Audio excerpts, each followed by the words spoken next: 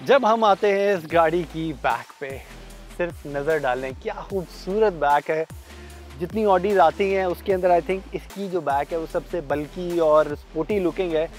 Classy ये है Audi है ऑब्वियसली क्लासी तो होगी, लेकिन इसका, इसकी जो बॉयश लुक है यंगस्टर्स की टारगेट मार्केट इस गाड़ी की मैक्सिमम है।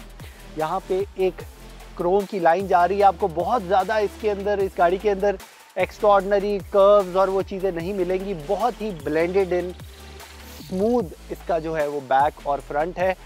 और this is 35 five T F S I और इसका एक मज़ेदार फीचर है। देखने में तो ये डिग्गी वाली गाड़ी है, लेकिन बटन दबाए और इसका बूट जो है ऑटोमेटिकली खुलता है। You are getting 465 litres of boot capacity जो कि बहुत ज़्यादा है। दो बंदे इधर आराम से बैठ सकते हैं। आपको ये सीट्स आगे करके यहाँ पे आप पूरा सोफ़ा डालें लॉन्ग रूट के लिए। परफेक्ट रहेगा। और इसका लगेज कवर बहुत ही आराम से उतर जाता है और वापस लग जाता है। आपको लगाना आना चाहिए सिर्फ़।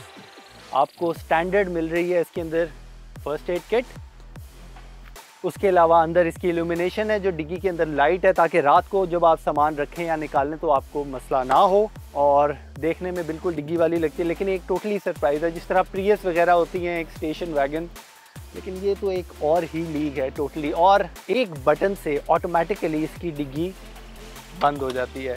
और आप ये देख सकते हैं these are sequential tail lights indicators जो कि आप देख रहे हैं, एक सीक्वेंस में जा रहे हैं। ये नॉर्मल इंडिकेटर और सिक्वेंशियल में ये फ़र्क होता है कि जो नॉर्मल लाइट्स हैं, वो एक दफ़ा ब्लिंक करती हैं, ये एक सीक्वेंस में आगे को जाती हैं। You are getting LED tail lights इस गाड़ी में मिलती है आपको 54 लीटर ऑफ़ फ्यूल कैपेसिटी और अब चलते हैं बैक सीट की तरफ़।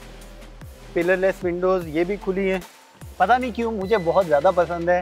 गाड़ी की फील जो है वो टोटली चेंज हो जाती है।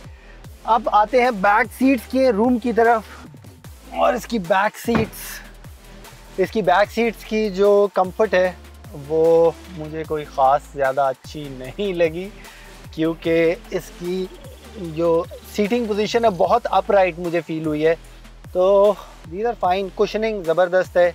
जो एक ड्रॉबैक मुझे लगा है वो इसके रेयर विंडोज़ का है। मैक्सिमम ये सिर्फ़ इतनी नीचे जाती हैं तो मुश्किल से आप बाहर देख सकते हैं। और सेंटर में आपको मिल जाते हैं दो कप होल्डर्स यहाँ पे स्पेस है और इसके कप होल्डर्स भी बड़े डिज़ाइन से जो है वो खुलते हैं और बाहर आते हैं। अमेजिंग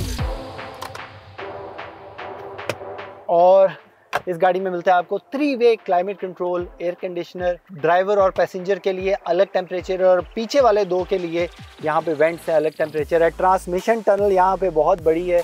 ये एक छोटी सी प्रॉब्लम है।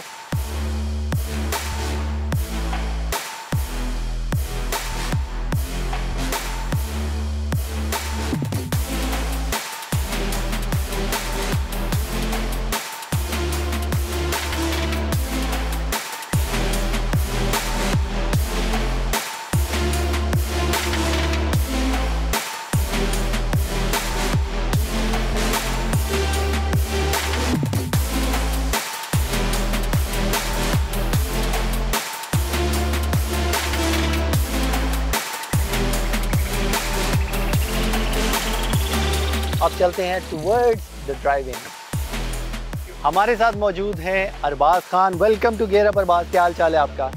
ये है ओनर इस खूबसूरत ऑडी ए फाइव के और हम जा रहे हैं इनके साथ ड्राइव पे और इनका हम फीडबैक देखेंगे कि इन्होंने इतने साल से गाड़ी रखी है। इनका कैसा एक्सपीरियंस है? तो चले चले, चलते हैं ड्राइव पे।